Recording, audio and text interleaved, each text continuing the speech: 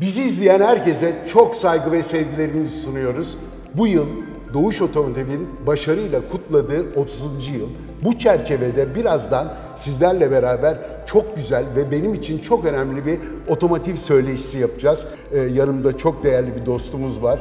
Doğuş Otomotiv Yönetim Kurulu Başkanı Sayın Ali Bilaloğlu Bey ile beraberiz. Bugün kendisiyle Doğuş Otomotiv'in 30. yılı hakkında konuşmaya çalışacağız. Tabii ki otomotiv endüstrisine de geçecek bu konuşma. Ali Bey merhabalar. Sizle beraber olmak büyük bir keyif. Selam. E? Vallahi yani gerçekten çok mutluyum. Her şeyden önce çok tebrik ediyorum. Gerçekten Teşekkür ederim. net bir şekilde baktığımızda 30 yıldır büyük bir başarı e, görüyoruz. Fakat bu arada ilgimizi çeken şeyler var. Onlardan bir tanesi de Volkswagen mesela distribütörlük konusunda çok hassas bir marka. Yani dünyada da e, baktığımızda birkaç tane böyle uygulama görüyoruz. Sizden bu konuda e, bilgi alabilir miyiz? Gerçekten çok merak ettiğimiz bir konu. Evet, Doğuş Otomotiv'in serüveni dediğiniz gibi 30 yıl önce başladı. 1994 senesinde. Ee, tesadüftür ki aynı dönemde aslında bu 30 seneye geri dönüp baktığımızda e, böyle büyük ülkelerde sadece iki tanesinde distribütörlük değişimi oldu. Bir tanesi aynı döneme denk geliyor, 30 sene öncesine denk geliyor. Hatta doğuştan bence daha önceydi, bir sene belki daha önce yapıldı, belki 93 senesinde yapıldı. Bu da Japonya'daki Yanase denen şirketin değişimiydi. Yanase şirketi o zaman e, Volkswagen Group markalarını Japonya'da temsil ediyordu. E, ve Volkswagen e, bir stratejik kararla dedi ki biz ondan distribütörlüğü alacağız, kendimiz yapacağız dedi. Yanase de o zaman bu işin orada bayağı iyi yapan bir distribütördü diye biliyorum ben. E, duyduğunda bunu ve işte sözleşme sona ereceğinin resmi açıklaması yapıldıktan sonra bir gecede dedi ki tamam dedi ben sizi bırakıyorum ve Opel'e geçti ve Opel'in distribütörlüğüne başladı. Ve e, yaklaşık 25 sene falan boyunca Opel'in o zamanki Japonya'daki pazar payı sıfıra yakındı. E, Volkswagen'ı bıraktığında ve tüm bayiler oraya geçtiğinde galiba 25-30 sene Volkswagen bugün belki bile halen daha Opel'in pazar payına gelememiş olabilir. Çok ciddi anlamda çünkü darbeydi orada. Ee, bir sene sonrasında 94 senesinde e, Türkiye'de de enteresandır Opel distribütörlüğü yapan Doğuş, o zaman tabii ismi Genoto, e, Doğuş'un distribütörlüğüne başladı. Ve e, Doğuş'un da pazar payı, Volkswagen Group markanın pazar payı o zaman Türkiye'de 0.5 civarındaydı.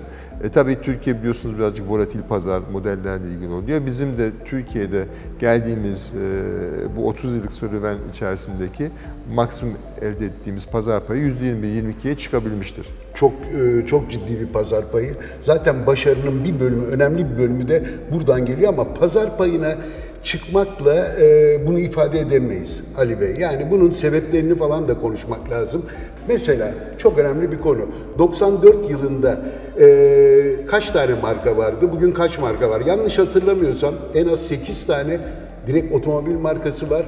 15'lik aşkın markada Doğuş Otomotiv'in e, distribütörlüğü mevcut. Bir de bu gelişim de mesela e, önemli değil mi? 30 senede nereden nereye ve markalar çok önemli markalar. Bize bunu bu hikayeyi de biraz anlatabilir misiniz? Anlatırım memnuniyetle. Şimdi biraz evvel dediniz ya pazar payı her şey değil diye. Aslında rakamlar her şey değil. Rakamlar aslında bir şirketin e, bulunduğu noktayı tarif ediyor, resmini çekiyor. Ama şirketin ruhunu, o şirketin iş prensiplerini, çalışanların yarattığı katma değeri bunları tabii rakamlarla ifade edemiyorsun. Sonucunda rakam çıkıyor. Ee, evet Doğuş Otomotiv e, işe başladığında ilk galiba imza attığı iki marka vardı. Birisi Scania'ydı, birisi Volkswagen Binek'ti. Bu iki markayla işe başladı ve takip eden yıllarda ama oldukça hızlı oldu.